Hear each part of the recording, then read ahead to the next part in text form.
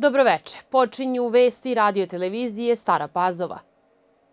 Predsjednik Srbije Aleksandar Vučić sastao se sa predstavnicima MMF-a predvođenim šefom misije u Srbiji Donalom McGenningom. Razgovarali su o kapitalnim ulaganjima i finansiranju projekata u okviru investicionih planova vezanih za sveobuhvatni program rasta Skok u budućnost Srbije 2027.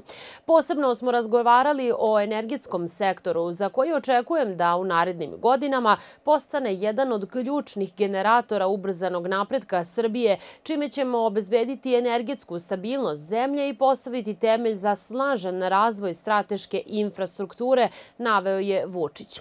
Vučić je istakao da je za Srbiju od najvećeg značaja da nastavi sa trendom snažnog privlačenja stranih direktnih investicija, dok se uporedo radi na podizanju pokazatelja ekonomske stabilnosti, reformama u sistemu javnih financija, ali i širenju državnog portfolija u smislu oblasti investiranja kao što su napredne tehnologije i veštačka inteligencija, zelene energije i digitalizacija.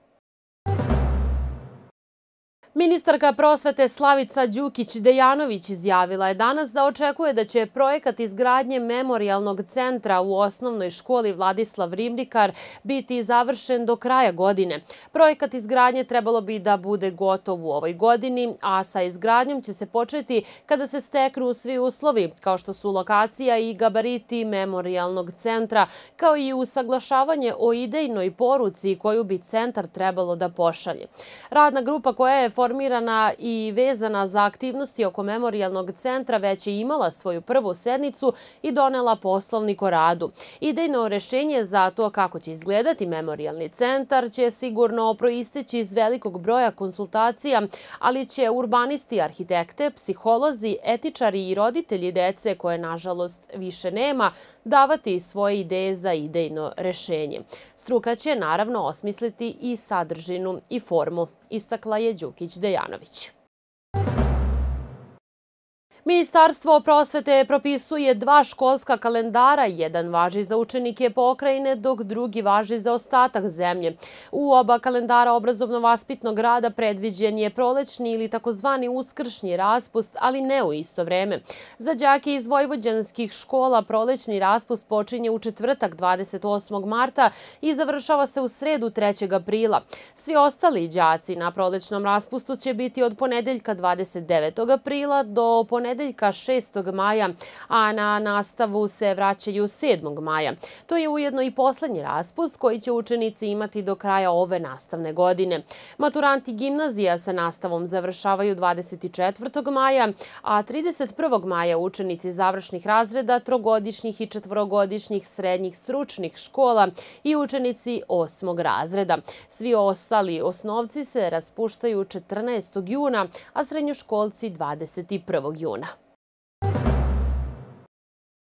Celovečernji koncert dečjih grupa Skuda Hero Janko Čmelik iz Stare Pazove doneo je sinoć bogatstvo tradicije, zahvaljujući malim čuvarima tradicije. Folklor je osnova kulture svakog naroda, koja se prenosi sa jedne na drugu generaciju i to su pokazali mali igrači, pevači i muzičari ovog društva, također folklornog ansambla Klasije, ali i gosti mlađa dečija pevačka grupa i Narodni orkestar Kud Branko Radičević, uz čiju pratnju je nastupila i Tara Lazić, učenica osnovne škole Heroj Janko Čmelik. Na kraju dvosatnog programa uručena su i priznanje za dugogodišnju saradnju i podršku članovima i rukovodiocima oba društva, kao i Dragoslavu Bonđiju, predsjedniku izvršnog odbora Saveta mesne zajednice Stara Pazova, koja pomaže rad kulturnih stvaralaca. Za cvetnu nedelju kod Slovaka u Staroj Pazovi zadržan je jedinstveni običaj, takozvane paničke, u prevodu gospođice. Deca u narodnoj nošnji posećuju svoju familiju, pri čemu pevaju pesmicu o ovom danu, igrajući kolo za šta ih domaćini nagrade. Po običaju, uspremljene i ukrašene košare daju im jaja, slatkiše i novac, jer se raduju njihovom dolasku, predstavljaju simbol mladosti, prosperiteta, novog života. Nažalost, Nažalost, ove godine zbog kiše i hladnog vremena bilo je malo dece koja su se spremila za cvetnu nedelju, ali nekoliko njih je došlo i u Slovačku evangeličku crkvu. Sveštenik Igor Feldi ih je pri kraju bogosluženja blagosiljao pred oltarom nakon što im je ispričao o hrišćanskom značaju ovog dana, jer to je dan kada su jevreji dočekivali Isusa Hrista u Jerusalimu, a radujući mu se ispred njega bacali cveće i zelene grane. Nakon toga deca su sa sveštenikom izašla iz hrama, ispred kog su se uhvatili u kolo i pred mnogobrojnim vernicima otpevali svoju pesmicu, te na ovaj način nagovestili dolazak najvećeg hrišćanskog praznika Uskrsa. Prema najavama iz EPS-a, sutra će bez struje u periodu od 8.30 do 13 časova bez struje ostati potrošači u Golubincima i to u sledećim ulicama. Pazovačka, Begejska, Đurđevska od brojeva 108 i 119 do kraja ulice.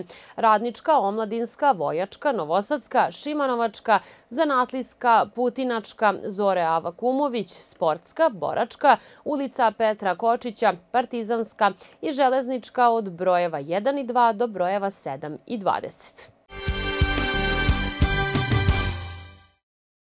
Rukometašice mladosti iz Nove Pazove pobedile su u 18. kolu Super rukometne lige na domaćem terenu ekipu Vojvodine rezultatom 32-28 i tako zabeležile važna dva boda pred nastupajuće do igravanje.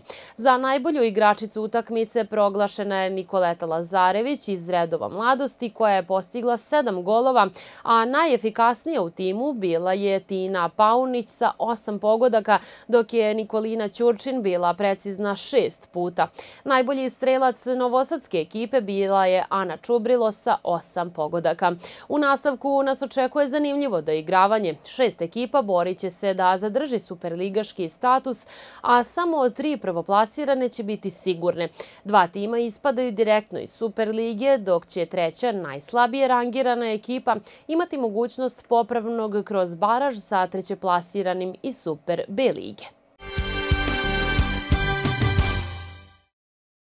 Pobedom nad ekipom Partizan FBT u posljednjem kolu Banka Poštanska štedionica Super Lige Srbije odbojkašice jedinstva regularni deo sezone završile su na prvom mestu tabele sa 21 triumfom i samo jednim porazom. Sa druge strane, nakon što je radnički blaster slavio nad Indijom, osiguran je ulazak Novobanovačkog omladinca u play-off. Utakmicu u četvrt finala ove mlade i ambiciozne devojke igraće protiv ni manje ni više nego staropazovačkog jedinstva. U okviru 19. kola Srpske lige Grupa Vojvodina opštinski derbi između Podunavca i jedinstva završeni rezultatom 2-2. Omladinac je odigrao nerešeno sa kabelom 1-1. U okviru 19. kola Vojvođanske lige Grupa Jug radnički iz Nove Pazove izgubio je od mladosti 3-0. Dunav je odigrao nerešeno sa ekipom Donji Srem 2015 2-2, a Jadran je pobedio radnički iz Šida sa 4-1. U okviru 19. 15. kola Sremske lige Sremac je u Vojki porazio graničar iz Kuzbina sa 3 prema 1.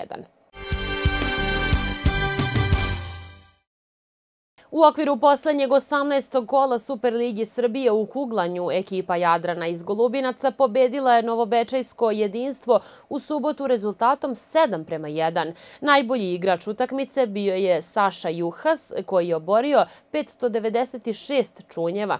Završetkom sezone Jadran se nalazi na četvrtom mestu na tabeli.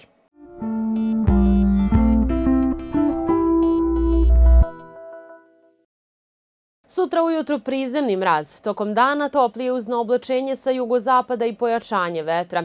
Posle podne i uveče ponegde kratkotrajna kiša ili pljusak. Najniža jutarnja temperatura od minus 2 do 6, najviša dnevna od 12 do 18 stepeni.